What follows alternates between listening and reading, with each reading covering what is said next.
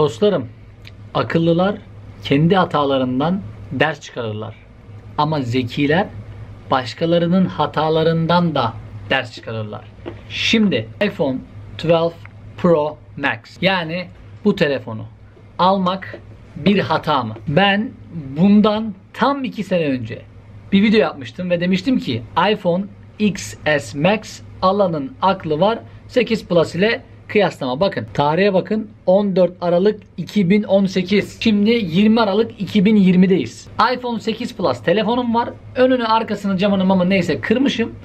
Tamir ettirmek yerine gidiyorum 1366 dolar vererek iPhone XS Max'i alıyorum. Şimdi hata kısmı nerede geliyor? Bakın Apple'ın stokları şu an ne kadar? Göstereyim. 126 dolar. 2018 14 Aralık'ta ne kadarmış? 41 dolar. 41 dolar. Matematiği ben sizinle beraber yapacağım. Beni izleyen birçok genç kardeşimizin, lisede, ilkokulda okuyan kardeşimizin işte bunu, bu telefonu almanın ya da bu BMW'yi almanın havalı olduğunu, güzel olduğunu, onlara mutluluk getireceğini, yani bunların birer amaç olduğunu düşünen birçok kardeşimiz var. Genç yaştalar cool geliyor. Halbuki değil. Size ne bu mutluluk verir ne de bu mutluluk verir. Heyecanlanırsın, istersin, aa dersin şöyle böyle alırsın. Bir hafta, iki hafta kullanmaya kıyamazsın. Aman da telefonum, aman da arabam falan dersin. Bir ay sonra bum. Sıradan bir nesne haline dönüşür. Çünkü insanoğlu istediğini elde etmiş ve hevesini almıştır. Şimdi bizi bu ya da bu mutlu etmeyecekse bizi ne mutlu edecek?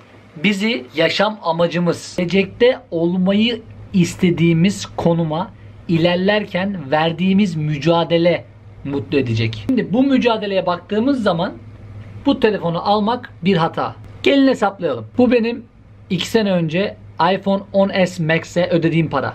1366 dolar. Apple Care ile beraber almıştım. Vergiyle şunla bununla bu paraya geldi. Şimdi banka kartımla Apple'a gidip o telefonu almak yerine bankama girip Apple Store alsaydım bu parayla 41'miş o zamanlar 33 tane Apple Store'um oluyormuş. Şimdi Apple ne kadar? 126 dolar. Aradan 2 sene geçti. Bak çok değil. 33 ile 126'yı çarptığımızda 4195 dolar. Yani ben 2018'deki 1300 dolarımı şu an 4200 dolar yapabilirdim. Ve hiçbir şey yapmayarak sadece stoğu alacağım ve bekleyeceğim. Yani bir iş yapmıyorsun. Bir çaba sarf etmiyorsun. Apple kendi kendine büyüyor. Ben ne yaptım? 1300 dolarla bu telefonu aldım. 2 sene önce.